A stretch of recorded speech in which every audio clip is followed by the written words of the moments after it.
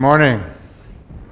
Welcome to worship this morning, those who are with us and those that are joining us online. It's good to hear that buzz of conversation before church. That's okay. Just a few announcements to note in the bulletin today. The altar flowers are given by David and Luan Smith in honor of their 50th wedding anniversary. It's a long time. It's a good thing. It's a good thing. Um, in the back, in the lobby, there is an outline of a Christmas tree that has been put up this year for you to add cards to it. So if you would like to add your family Christmas card to that, you can do so. Although, so there's also a basket for our little Lutherans. We've got some crafts for them, um, for them during worship as well. So this afternoon at three o'clock, we're going to have a little event here. Um, we're going to have an installation. Someone asked me this morning, "How many times have you been installed?" This is my fifth. So maybe we'll get it right this time.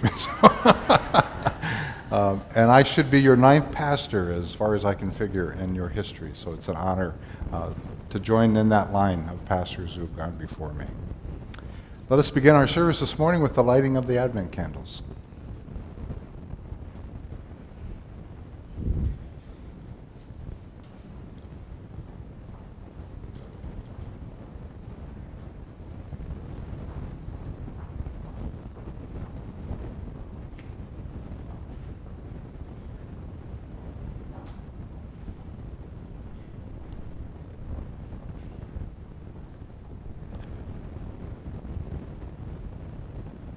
Good morning.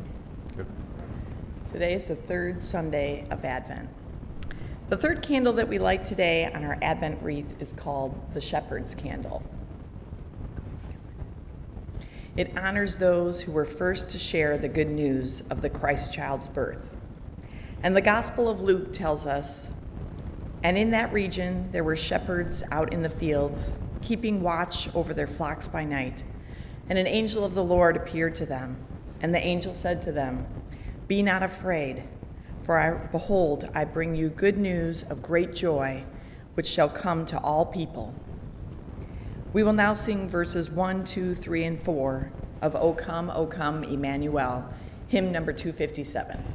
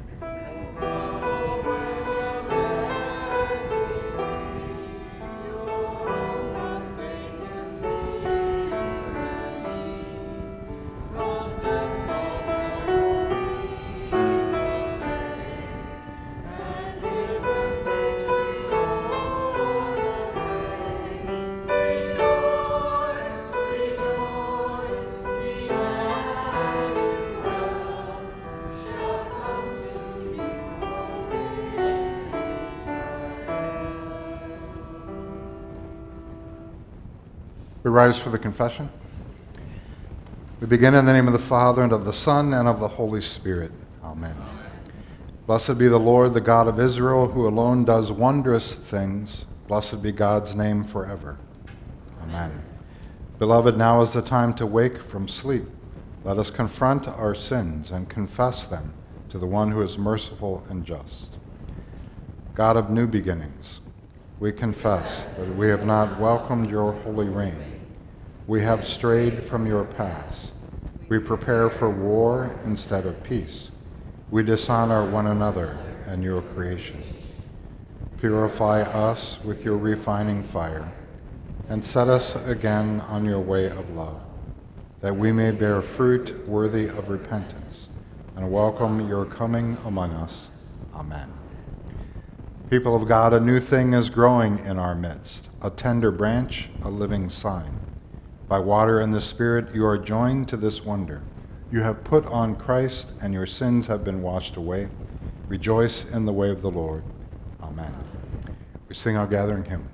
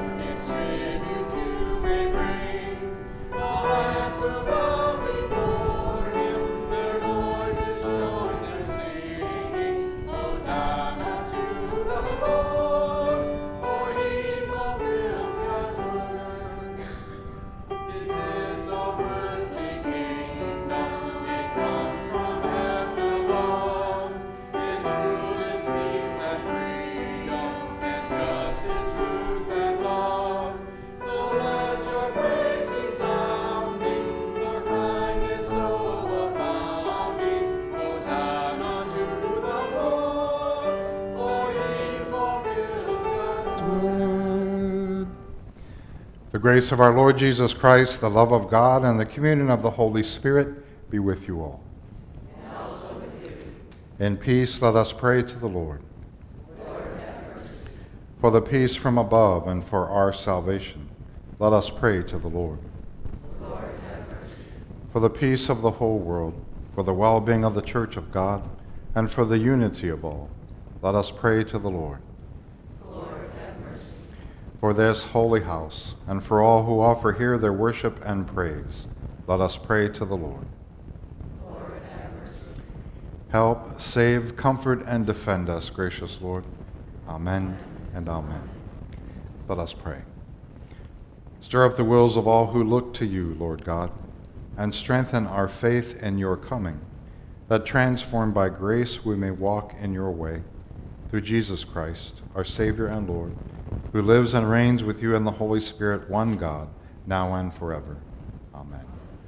You may be seated.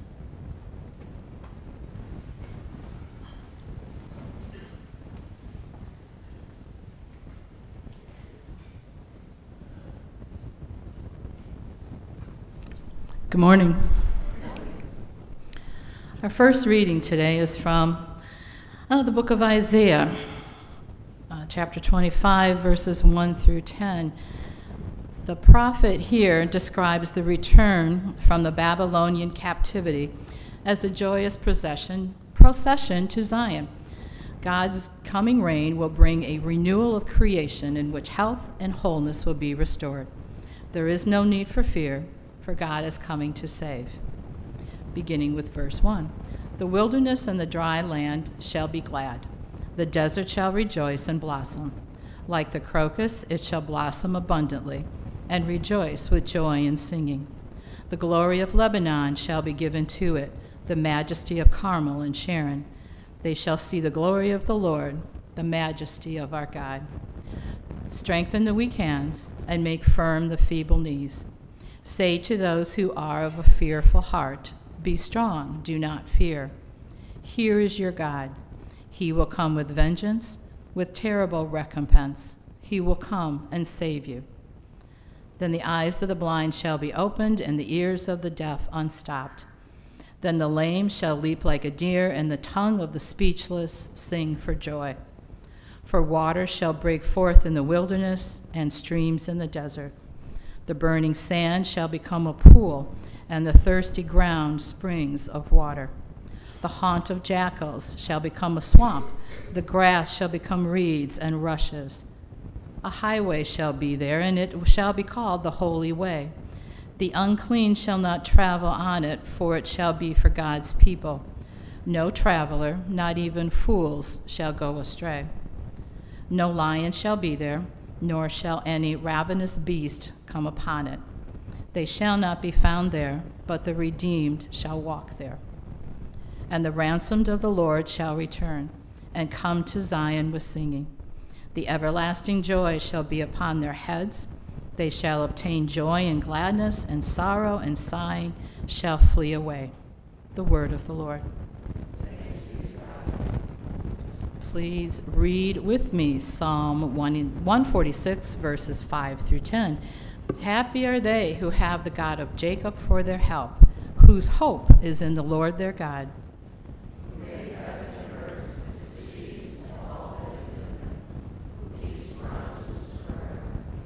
Who gives justice to those who are oppressed and food to those who hunger. The Lord sets the captive free.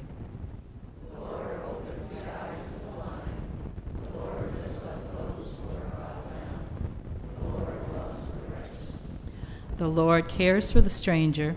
The Lord sustains the orphan and widow, but frustrates the way of the wicked.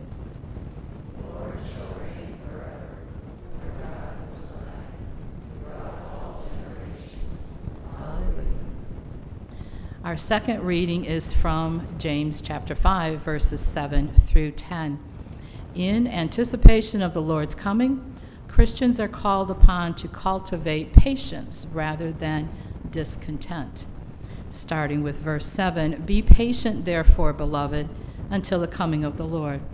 The farmer waits for the precious crop from the earth, being patient with it until it receives the early and the late rains. You must also be patient. Strengthen your hearts, for the coming of the Lord is near. Beloved, do not grumble against one another, so that you may not be judged. See, the judge is standing at the doors. As an example of suffering and patience, beloved, take the prophets who spoke in the name of the Lord. The word of the Lord.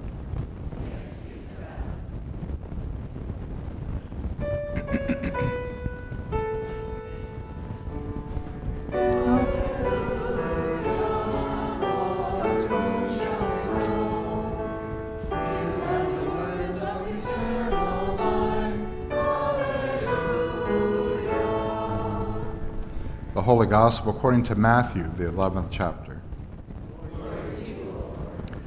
When John heard in prison what the Messiah was doing, he sent word by his disciples and said to him, Are you the one who is to come, or are we to wait for another? Jesus answered them, Go and tell John what you hear and see. The blind receive their sight, the lame walk, the lepers are cleansed, the deaf hear, the dead are raised, and the poor have good news brought to them.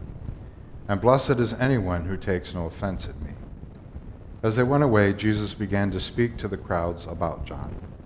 What did you go out into the wilderness to look at? A reed shaken by the wind?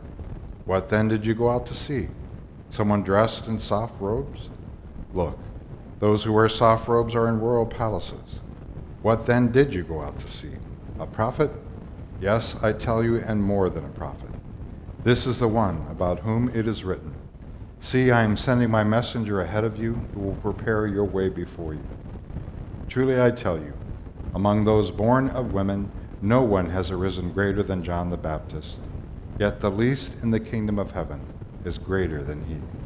The gospel of our Lord.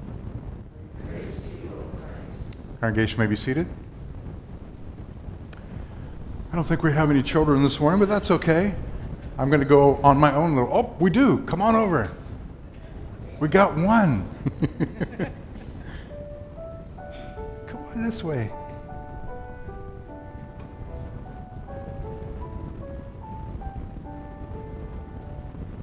Good morning. How are you? Good. I'm going to show you something. Can I pick you up? Okay, good. This is called a Chrismon tree. I know you weren't here last week. So when you see the Chrismons on here, these are kind of different, aren't they? Do you have any of these on your tree at home? No, they're going to they're going to be different. So these are different kinds of ornaments because we put them on a tree at Christmas time in churches. So I'm going to pick three and tell you what they are, unless you can figure them out. What do you think that is? Is that an angel? Okay, that's an angel. And let's see, what's that? That's a butterfly. That's right. So that teaches us about new life in Christ, right? So what's that? Is that a bell? A bell. So that's like a Christmas bell. So these are the things we have, we celebrate for Christmas. Okay? Let's have a prayer. Thank you, God, for giving us messages about your coming and teaching us about your Son who comes to give us life. In his name we pray. Amen. Okay, now you can go back to Grandma.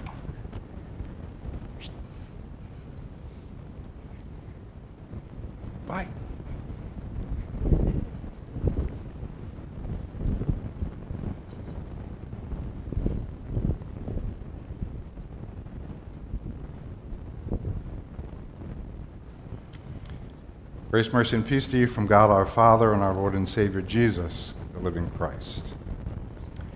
So one Sunday morning, a minister in Scotland was skating across a frozen river, and the district convened to examine the minister about his violation of the Sabbath.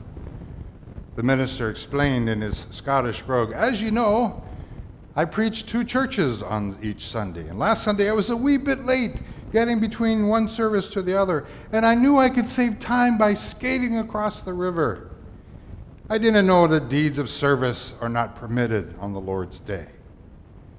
His accuser replied, Of course, we don't care why ye skated across the river, lad. He then leaned into the preacher's face and said, One thing concerns us. Did ye enjoy it? Did ye enjoy it? We've all met wet blanket Christians who want to make sure that no one actually enjoys Jesus Christ. Spiritual descendants of the Pharisees and the Sadducees, folks to be pitied, because a glad heart is the hallmark of a healthy Christian faith. Joy is the surest sign of God's presence. And yet, in the early liturgical tradition of the church, it was deemed that this season of Advent, these four weeks leading up to Christmas, was supposed to be like Lent. It was meant to be somber and serious, a time to reflect on one's sins and shortcomings, a time of spiritual preparation and cleansing for the coming celebration of the birth of Christ. Back then, the altar paraments were purple, like that of Lent. And yet, even in the midst of all that somberness, the church must have realized that there was a problem. Because this third Sunday of Advent came to be known as the Joy Sunday. Sort of a break in the midst of all that seriousness to remember the joy that is ours in Christ. In Latin, today is known as Gaudete Sunday, from the same word we get gaudy from which is defined as extravagantly bright, showy, even in your face. So this is in your face Sunday. so somewhere along the line, a generation ago now, the church either caved into the social pressure of the season to be joyous, or more likely, they went back to the scriptures and they couldn't help but notice that joy is found there, surrounding the prophecies and preparation for the Messiah's birth. The colors of the altar were changed to that of the blue, the brighter color of the season of Advent. And even the most general examination of scriptures, one cannot help but see that joy is the thread that is woven throughout the Bible. The Bible acknowledges pain and suffering and hardship and sacrifice and solemnity, but joy is the bottom line. So, catechism question. Pastor Rick, you can't help with this one. What is the shortest verse in the Bible? You don't have to know the reference, but what is the shortest verse? Jesus wept. Well, Rick and I have studied this in the Greek. There's a shorter verse. 1 Thessalonians 5:16 reads, "Rejoice always." So we go right to Jesus wept. Rejoice always is actually the shortest verse. And joy is more easily recognized and described. Isaiah does a good job for us in telling us what joy might look like. Joy says the prophet is like water streaming through the desert. We don't really know what deserts are in this part of the country, but my wife and I had the privilege in 2017 of going to the Holy Land, and it is desert. There's sand everywhere. It is dry. It is hot. It's sunny every day, unlike Michigan where it's cloudy throughout the winter. But even so, crops can be raised in Israel. Some of the best grapes and the best olives in the world come from that area. When irrigation is pumped in from the Sea of Galilee or the Jordan River, that desert comes to life. So that cracked earth becomes farmland. That is what water can do. As Isaiah said, the desert shall rejoice and blossom like the crocus, it shall blossom abundantly. And so it is when a human life is touched by the finger of God. When a human spirit finds its home in the spirit of the living God, dryness and dust are replaced by moist, fertile soil. In place of death, life blossoms. We preachers have often been accused of mouthing nice sounding platitudes from the pulpit that don't mean anything in the real world. And we know that the world is filled with pain and sorrow and loss and grief. But for people of faith, grief is not the last word. There's enough suffering in our world and very near to us to break anybody's heart. But I've also seen God make broken hearts whole again. When I did my CPE at Riverside Hospital in Columbus, I was on a neuro floor, people with brain damage and other assorted injuries. There was a woman on our floor who had MS, and she was just diagnosed with cancer, brain cancer. And my head nurse said, I want you to go down and visit her. It was the longest walk of my life. Walking down that hall, trying to think what I was going to say as a student pastor to this woman who just got this diagnosis. I timidly went into her room and I said, Shirley, are you there? Hoping she wouldn't hear me. And she said, Come on in! You're the new chaplain. We're going to have a worship service. We're going to rejoice and talk about Jesus. She did more for me than I ever did for her. That's what joy is for Christians. We're not exempt from storms. We have no promise that the waves will never sweep us under. But nonetheless, we know that the wind is fierce and that life sometimes produces those storms. Christ is there. Christ is reaching out to us and grabbing us in the midst of our doubts and questions. And nothing in this world can steal our joy. Because just being in the presence of Christ, being with others in community, is our joy. The world can never separate us from Christ. We receive the same answer that John received in prison when he doubted if Jesus was the one. He said, Should we look for another? And Jesus said, Go and tell him what you hear and what you see. The blind receive their sight. The lame walk, the lepers are cleansed, the deaf hear, the dead are raised, the poor have good news brought to them. If that is not a reason for joy, then I don't know what is. One of my favorite authors is Rabbi Harold Kushner. I want to share just a short passage in closing from his book, Full Circle. And as I share this passage, I want you to listen closely, and whenever you hear the word God, I want you to substitute the word joy. This is what he writes The answer is subtle. Without God, there will be a world where no one was outraged by crime or cruelty, and no one was inspired to put an end to them. It would be a world where if we were the victims of misfortune, we would curse our bad luck. And if someone near to us was a victim, we'd feel an embarrassing sense of relief. In a world without God, there would be no more inspiring goal other than self interest, amassing as much stuff as possible, having children to gain biological immortality. There would be neither room for nor reason for tenderness or generosity or helpfulness. A world without God would be a universe in which gravity pulled us down and there is no counterforce to lift us up, to clean us off when we stumble, and assure us that we're worthy of a second chance.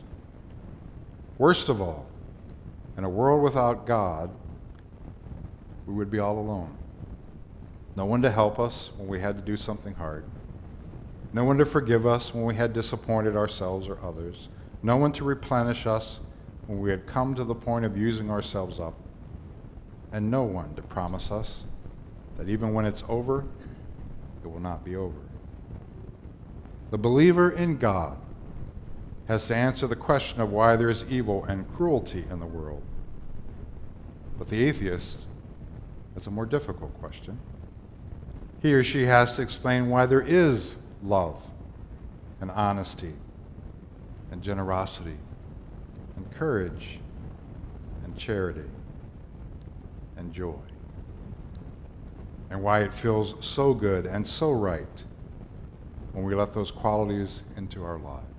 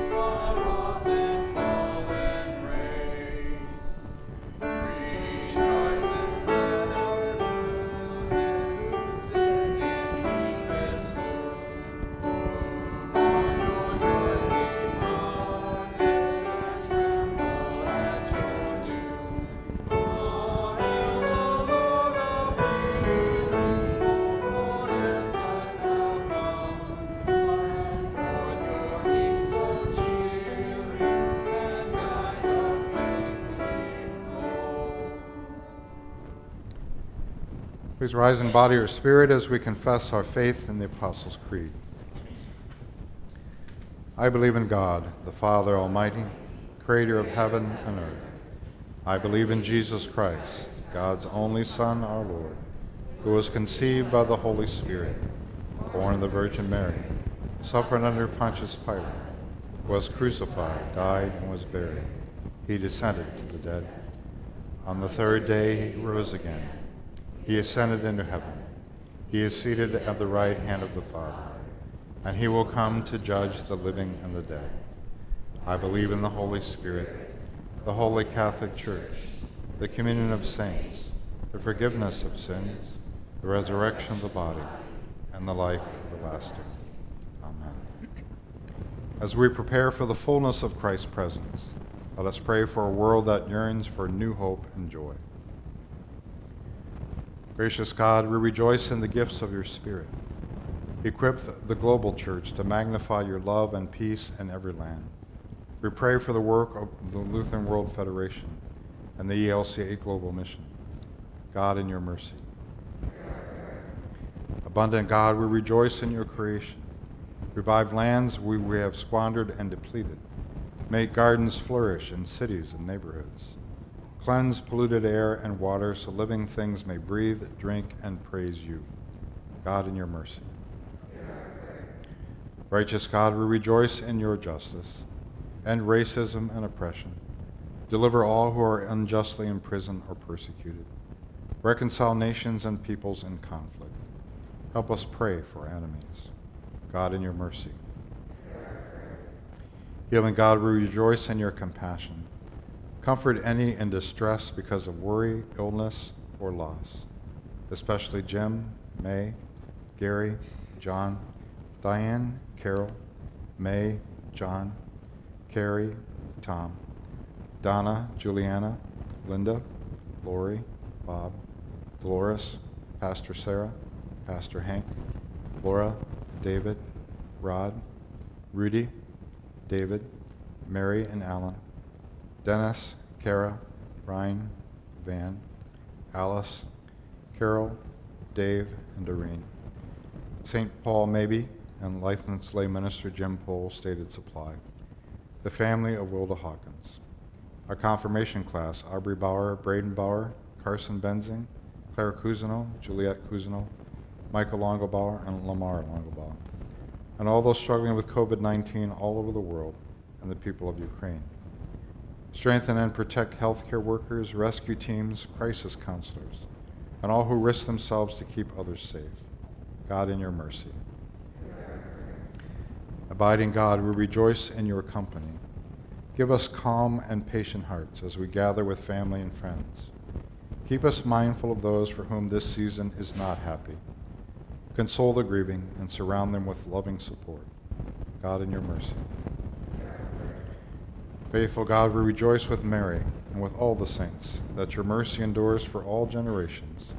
Look with favor on those who have died and lead us joyfully sing of your everlasting promises. God, in your mercy. Finally, God of our longing, we know our deepest needs. By your Spirit, gather our prayers and join them with the prayers of all your children. In Jesus' name we pray. Amen. Be seated for the offering.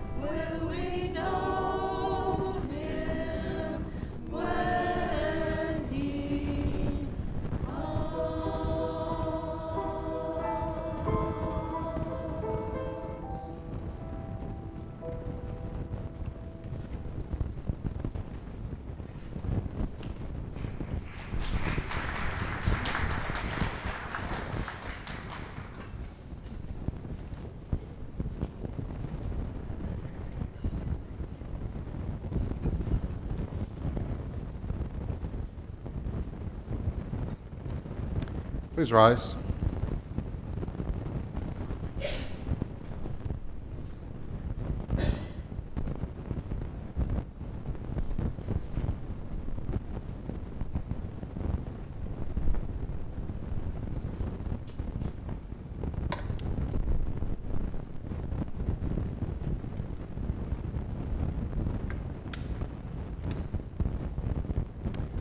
The Lord be with you. Lift up your hearts. Let us give thanks to the Lord our God. It is right to give our thanks and praise. It is indeed right, our duty and our joy, that we should at all times and in all places give thanks and praise to you, Almighty and merciful God, through our Savior Jesus Christ.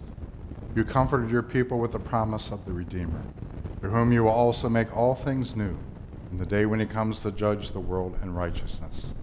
And so, with all the choirs of angels, with the church on earth, and the hosts of heaven, we praise your name and join their unending hymn.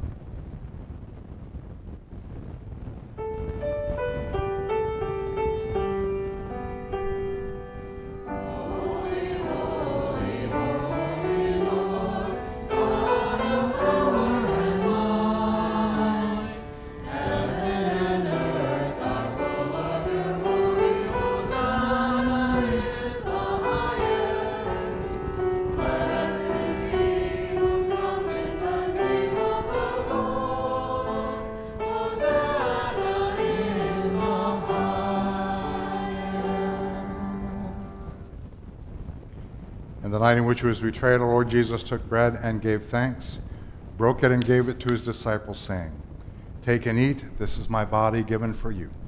Do this for the remembrance of me. Again after supper he took the cup, gave thanks, and gave it for all to drink, saying, This cup is a new covenant in my blood, shed for you and for all people for the forgiveness of sin. Do this for the remembrance of me. Lord, remember us in your kingdom and teach us to pray. Our Father, who art in heaven, hallowed be thy name. Thy kingdom come, thy will be done, on earth as it is in heaven. Give us this day our daily bread, and forgive us our trespasses, as we forgive those who trespass against us.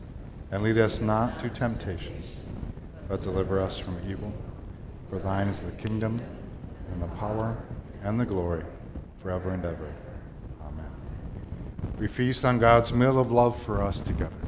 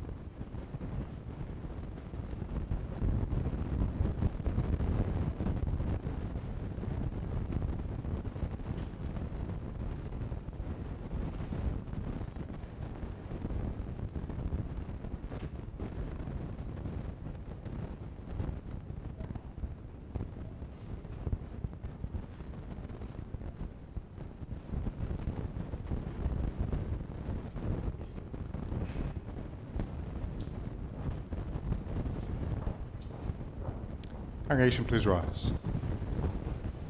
Let us pray. Lord God, your mercy delights us, and the world longs for your loving care. Hear the cries of everyone in need, and turn our hearts to love our neighbors with the love of your Son, Jesus Christ, our Savior and Lord. Amen. Now may Almighty God, Father, Son, and Holy Spirit bless you now and forever.